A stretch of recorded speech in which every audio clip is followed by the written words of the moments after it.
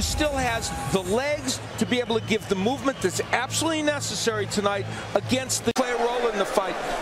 But in the center of the ring, it's like a ridge going through the ring. We've talked about it. To do that all through the fight. Yes, of course. And that's Broner's in his past performances, getting off to a rather not necessarily slow start, but takes the first few rounds to see what his opponent comes on after he's seen what his opponent can do. What we saw in his last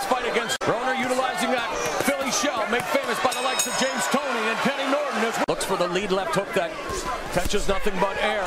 Bounce out in the exit just past the minute mark of the second round. Malignaggi attacking the body. Combination. There's a nice straight right hand that tags Malignaggi fight.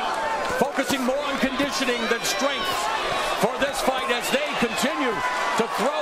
It was an interesting, uh, fascinating fight already so far. Very entertaining. Surprise, surprise. Shocking, huh? Broner will win that battle because There's a nice left hook by Broner, backing up Malignaggi and actually bull rushing him into the ropes. Again sticks the jab. Misses with the shoulder roll. Has the high guard. Right uppercut by Broner. That combination blocked by Broner, who continues to reiterate, you can't hit me. Double left hook by the challenger. Left hook to the body and a left hook to... 23-year-old challenger looking to win his third body with the jab. Flicks one upstairs, three punch, now putting together the combinations and landing on Broner. For the Broner defending as well. For the first time, Malignaggi was able to... And of course, Broner has nuclear power in both hands. And Malignaggi, the the number of punches thrown and landed twice as many. Barry Broner's lands a giving him this one-two round. upstairs under 30 seconds through four rounds. Let's see what we think. Uh, I have got Malignaggi ahead as the Steve Farhood and Bernard. You have it even. But he's landing. The jab that pops Malignaggi's head back, and Broner now getting busier. Right uppercut just misses. Jab, and Broner now getting. he took it, but Broner's only throwing like outside one or two punches and hit Not anymore. Is that all? Fantastic. Five rounds thus far here in Brooklyn as we go to the sixth. The clash of power versus boxing, and we've seen that. Uh, and uh, with Broner landing at a pretty high percentage of 43%, that's also what you expect. Crisp counter right by Broner. Misses with that right. This fight has unfolded, Bernard. Well, I'm not surprised because Paulie's wearing down and Broner's hitting with clean, hard. Edging ahead, and Steve and I have it uh, even, but clearly the momentum in this fight, Swinaji can never be questioned. We talked about Plenty of heart. Yeah, he fought the Cotto fight with that orbital. He's coming forward. Paulie's not a big puncher.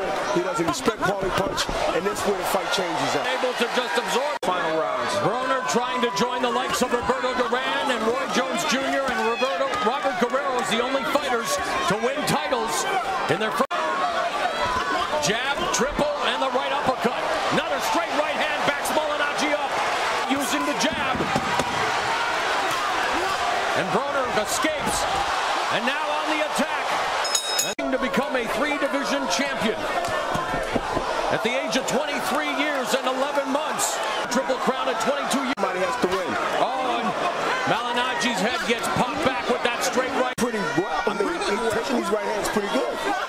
There's a right uppercut that jacked the jaw of Malignaggi. Another right hand, but Malignaggi comes forward, has Broner on the ropes, lands the right to the problem. But Left hook Paulie, by Malignaggi. but Paulie is done. Well, there's a couple of scoring right hands, Bernard. And there's another right hand by Broner and Malignaggi now putting up. Uh, Malignaggi threw a lot of punches, but Broner was landing so much harder punches. Well, Malignaggi, though, taking the fight to Broner in the center of the ring here. There's a left that you can hear. And but Malignaggi fighting valiantly off the ropes. He's landing some very nice shots. Broner looking to land one more big shot and does with the left hook. It's the first minute of the 11th. Matching punch for punch, though, with Malignaggi. He's thrown exactly the same amount. Oh. And there's a big left. Left hook connects Malignaggi.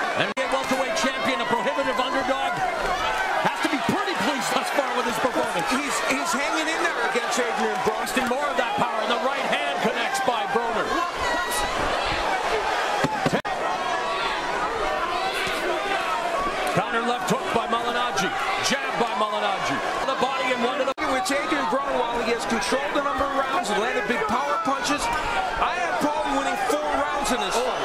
And the challenger imposing their will and skill on the Barclays Center in Brooklyn. Broner, the double left hook to the face. Malignaggi with the jab.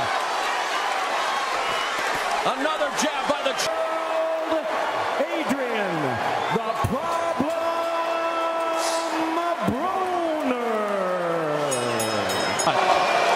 Any regrets about anything that went on in the pre-fights and all the news conferences? Negative. I'm good. I beat Paulie. I left with his belt and his girl. Adrien, congratulations on winning the title. Paulie, come on in. Pussy, though. Don't stop. Stop. Hey, stop, I'm just saying, you lost. I know, I know, I lost. Fair square. But, but don't, hold on, hold on, hold on, hold on. Wait, but wait. don't brag about So- so taking I'm my better than side what you piece. thought? Don't brag about better taking than my what you side thought? piece, though. That's my side piece. You don't get laid. All right, all right.